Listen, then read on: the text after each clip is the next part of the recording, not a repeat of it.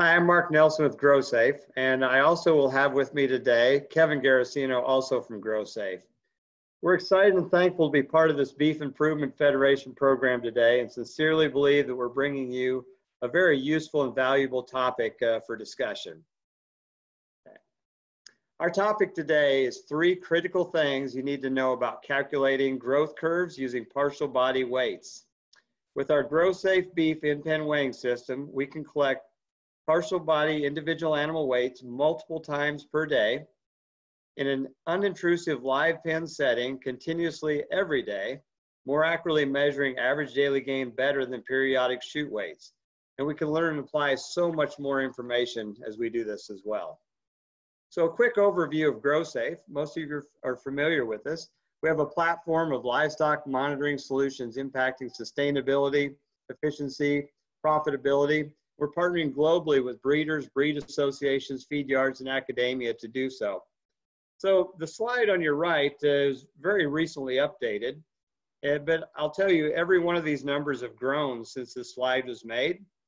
And I will say also that uh, while our US install team is staying very busy, we're seeing a lot of international activity. And the, um, the impact that we're having on the international beef herd and efficiency is, is really exciting. And the really nice thing also, we're talking about GrowSafe beef for in-pen weighing today, and most of our new installs also including this technology. So the agenda for today, we're going to discuss that technology. Uh, I'll do that. And then I'll turn it over to Kevin and he'll go over uh, the data collection. And then I'll come back on and discuss some use cases based upon some of the information Kevin's given us. And then we'll both team up to answer any questions that are generated. So the technology. Most of you are very well acquainted with our feed intake technology. Today we're going to be focused on the deliverables and reasons for GrowSafe Beef, our in-pen weighing system which can be paired with our feed intake nodes to pair daily intake with daily weight gain or be installed and utilized independently. So this is the GrowSafe beef. And as you can see, um, it has uh, two different positions in this case, and then two more positions on the other side.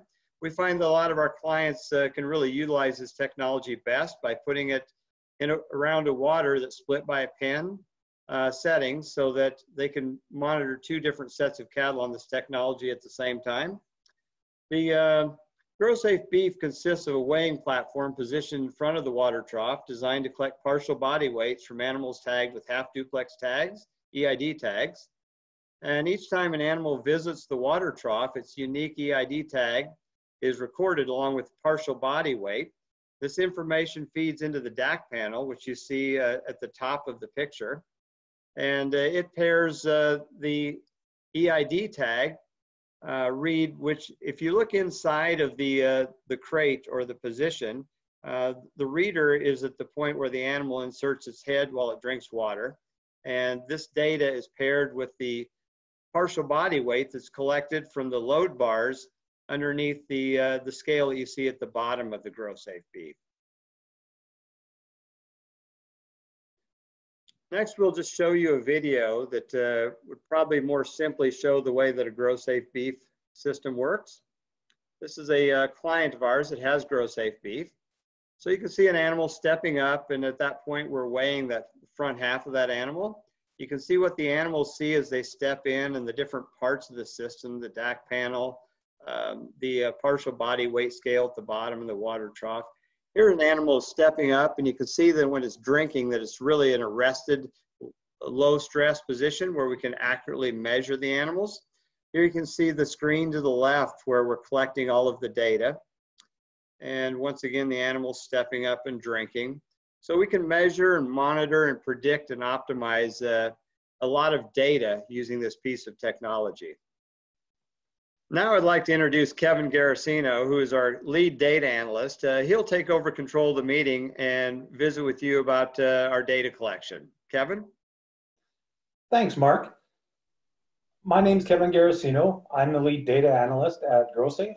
And today I'm going to talk to you a little bit about data collection review, um, and especially GrowSafe beef continuous in-pen weighing system. And so basically what we want to look at how we can use this in-pen weighing system to accurately measure average daily gain in a shorter time period than traditional chute weights. So currently, BIF requires that we have a minimum of 70 days between start and end chute weights in order to accurately measure average daily gain.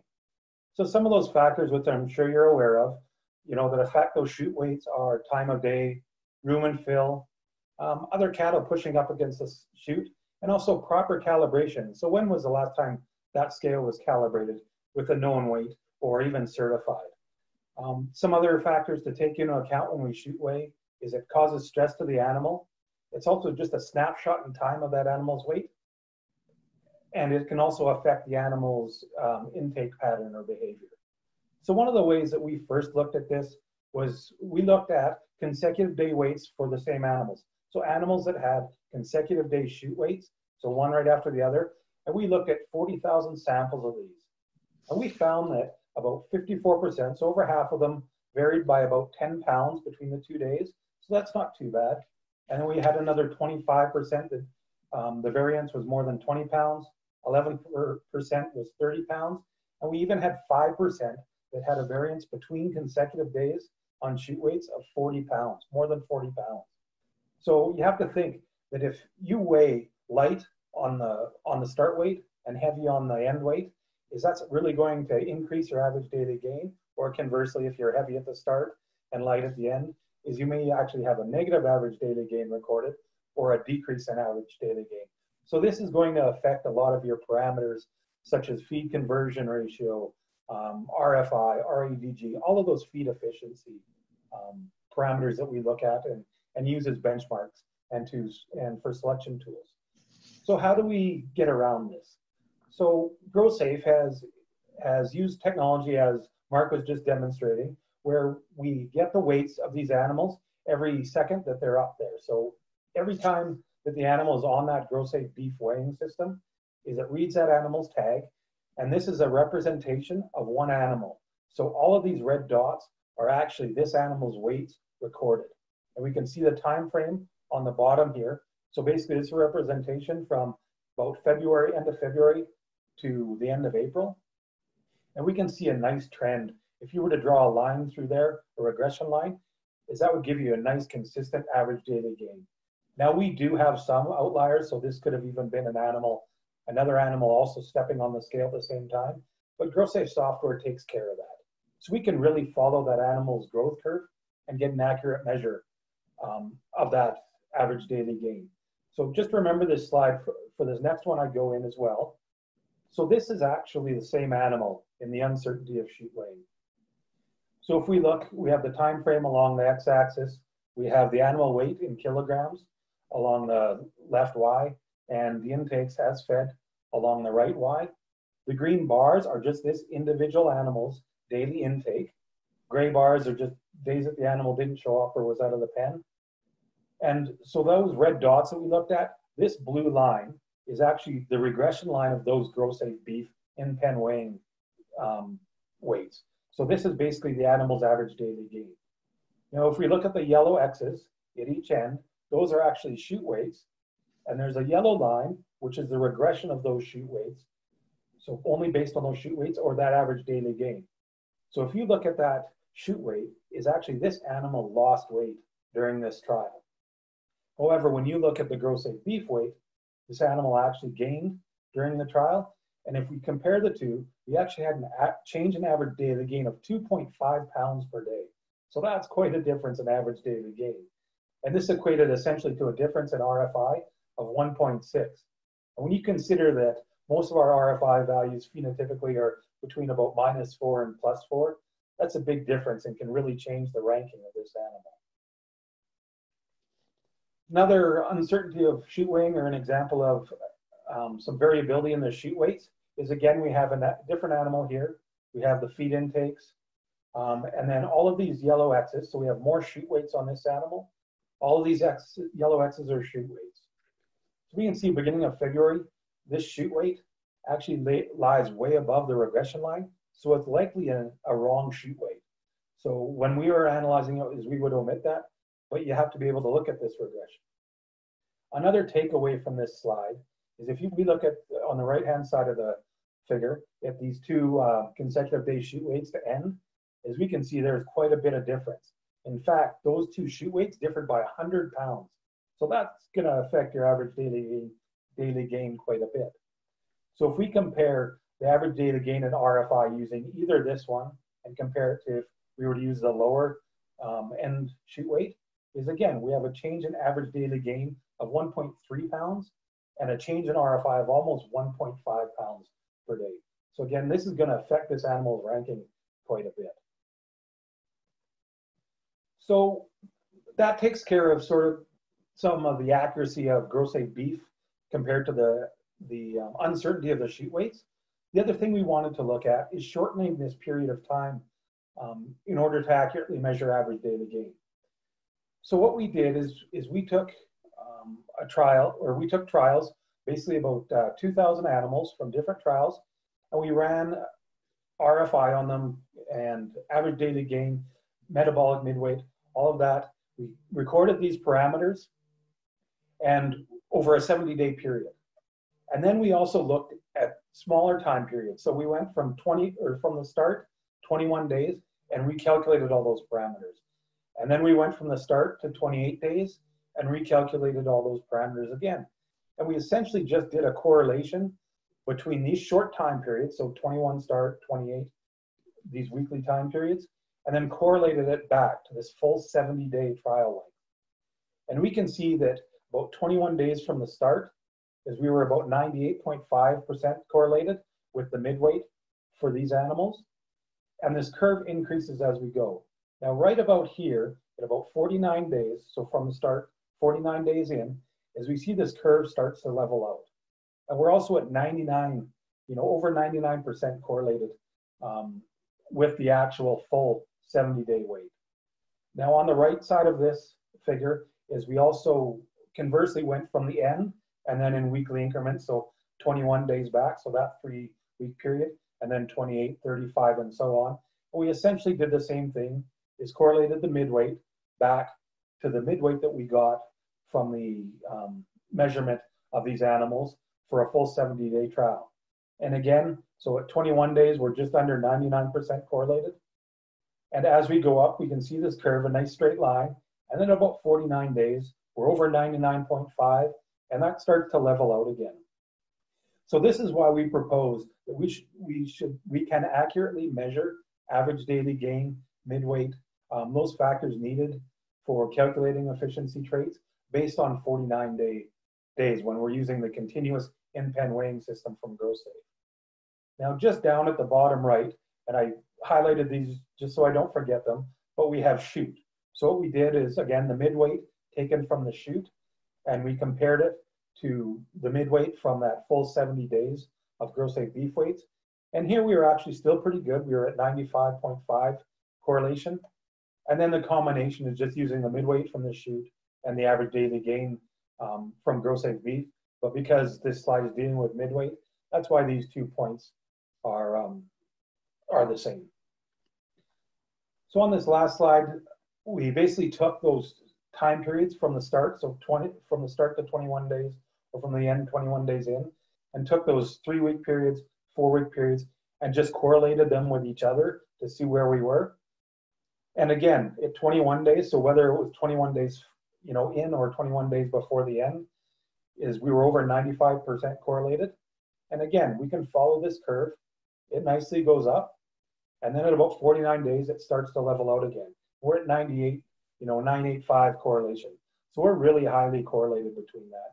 Strengthen again this proposal that we, you know, we can accurately measure average daily gain in 49 days. So why would we want to do this? Well, we want to do this for a few reasons. Number one, it's going to reduce cost to producers, and also they can run more tests, so we can get more animals tested through this time frame. And with that, thank you for your time, and I'm going to hand this back to Mark to go through some use cases. Thank you, Kevin. Uh, yeah, next, uh, the, the third thing that we wanted to visit with you today was some potential use cases for GrowSafe beef. So there's uh, three different use cases we want to discuss. Uh, number one are seed stock applications. And as Kevin's already uh, initiated the topic of uh, an RFI standard 49 day versus 70 day using in-pen weighing systems, we'll cover that a little bit more. Also uh, touch on looking at establishing growth curves and weights through the GSB that could be of value and discuss what we're doing in the feed yard and also in pasture. Next slide, please, Kevin. The application or use we're going to talk about first is within seed stock and a shortened duration of RFI feed efficiency trials. As Kevin discussed, we have a standard trial with chute weights utilizing 70 days of gain following a proper warm-up, of course. And he's shown nicely that the data that we can collect uh, continuously on a day-to-day -day basis on GrowSafe beef uh, is highly accurate in a 49-day period. This gives us an opportunity to run more trials per year, reducing costs. There's a big reduction of animal stress and labor. Uh, so in general, GrowSafe clients utilize the GrowSafe feed intake technology for measuring dry matter intake. Our analytics department, of which Kevin is the lead of, follows BIF recommendations for intake standards of 35 valid days after the proper warm-up period. This is the common standard that most breed associations and genetic companies follow. So many of our clients uh, test long enough to establish intake and utilize the GrowSafe analytics department to ensure any out days um, versus valid days are accounted for with integrity. Many of our clients also test not just for the intake I mentioned of 35 days, but also for intake in relation to gain. And most of the data that Kevin shared with you um, related to residual feed intake, which does that very thing. So for GrowSafe to calculate residual feed intake, or RFI, when they utilize chute weights, the GrowSafe Analytics Department requires two chute weights on and off a 70-day test. When our clients have GrowSafe beef daily weights to measure average daily gain, as you saw in Kevin's portion of the presentation, the accuracy of any GSB data over 49 days and later is 99% correlated to chute weights on average. On individual animals, there's data that certainly infers daily weights over 49 days can be even more accurate than chute weights. So GrowSafe currently utilize GSB weights to measure gain for a 49 period after warm-up. There are many benefits to this, including the client's ability uh, to collect more data on cattle as they run more trials per year on feed intake technology.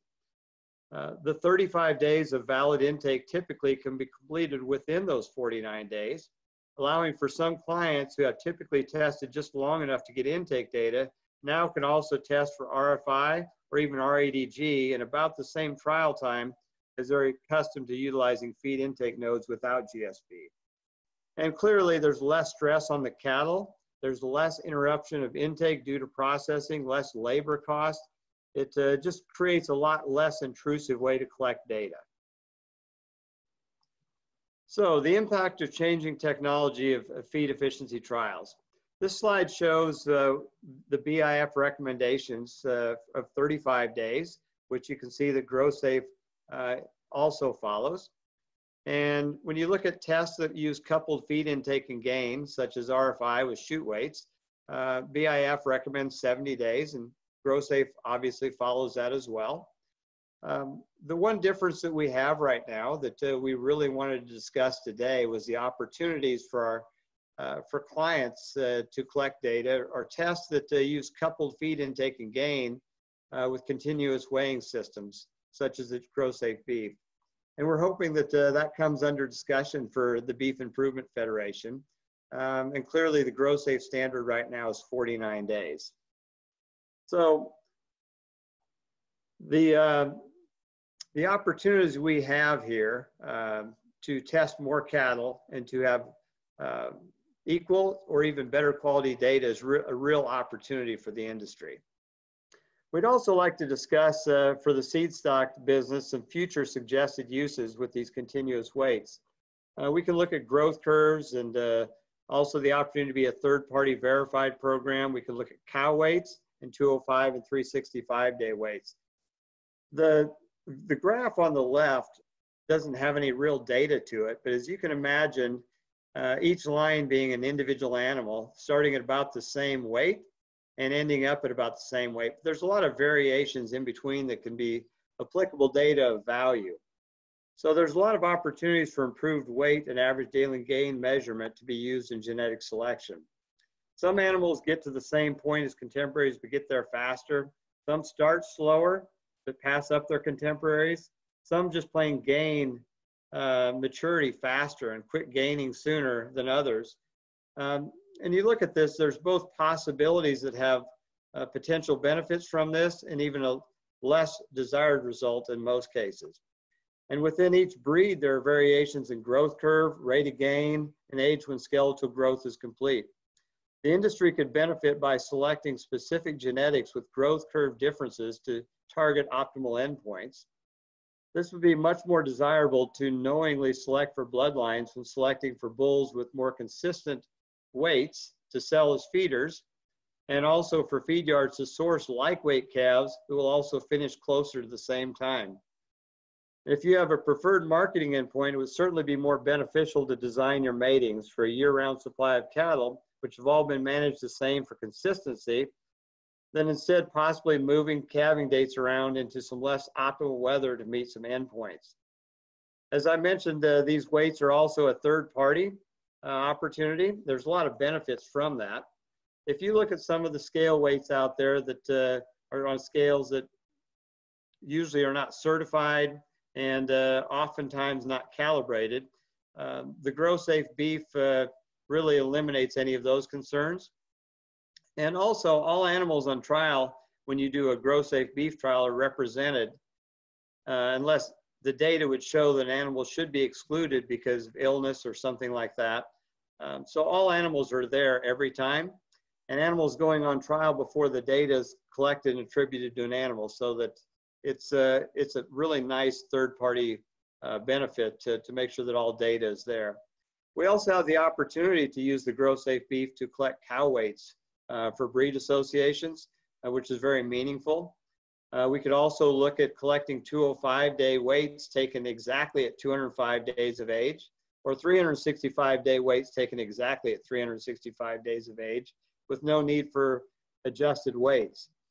We could also envision collecting uh, not just the daily weights, but uh, we could put the weights into categories and, and have animals recorded with their association to show what an animal weighed at 205, 245, 285 days, 325 days, uh, up to 365 days, and even do that after uh, the yearling weight and collect weights again 40 days later at 405 and another 40 after that 445. So we could get a real look at how an animal is gaining as it matures. And then uh, another point that we could actually pull together is uh, if we looked at the cow weights combined with the percent calf wean weights. So there's a lot of uh, future suggested uses that we would have for GrowSafe beef and, and daily weights as well. We also have GrowSafe beef in feed yards. And uh, in the feed lot, there's a lot of applications you can imagine um, where we're monitoring continually continual performance. So we can uh, monitor individual animals to make database decision based upon their performance. We can manage uh, variation by the individual animal and also by the pen. We can look at the nutrition of individual animals and access rations and, and performance insights. We can monitor the well-being of animals and we can have early detection of behavior changes. And uh, labor optimization can also be big. Uh, we've got the, uh, the the paint spray on the, the GrowSafe beef where we can market cattle uh, based upon if they've uh, been sprayed or not. And uh, we can also mark animals if they have health flags so that uh, they can be easily be pulled by the uh, feed yard cowboys. And there's also a, a, lot of applications we can look in marketing um, using the GrowSafe beef. Another thing that we're looking at uh, for GrowSafe beef is deploying these and utilizing these on pasture. There's uh, definitely some emerging technology for growth management and monitoring on pasture. And we've got some activities, uh, some research collaborations with the Noble Research Institute, West Virginia University, and also Olds College as well. So we're very excited about the applications of get, catching daily weights on pasture as well. So in summary today, uh, we hope that we've accomplished our three objectives of number one, um, helping you to understand how the GrowSafe beef uh, daily uh, weights technology works. And Kevin went through and discussed uh, what the GrowSafe beef data is really telling us. Um, and the takeaways from that uh, were that uh, continuous weighing with GrowSafe beef is really accurate and precise, and that 49 days of continuous weighing on GrowSafe beef provides the equivalent average daily gain to 70 days with chute weights, and that also that there is a high level of uncertainty in chute weights versus continuous weighing. And lastly, the, the topic that I just finished with is uh, the review of some various uses of continuous weighing. We'd now entertain any questions that uh, you may have from our presentation.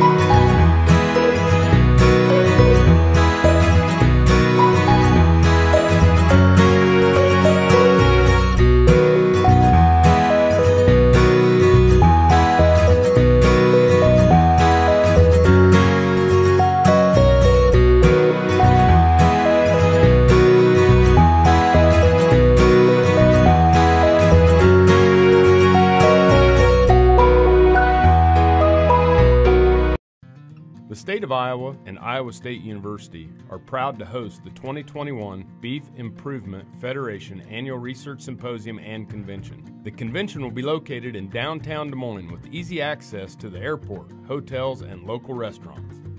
Iowa State University is just north with its research and teaching farms. Join us in Iowa and experience how Iowa provides the beef industry with innovation to application.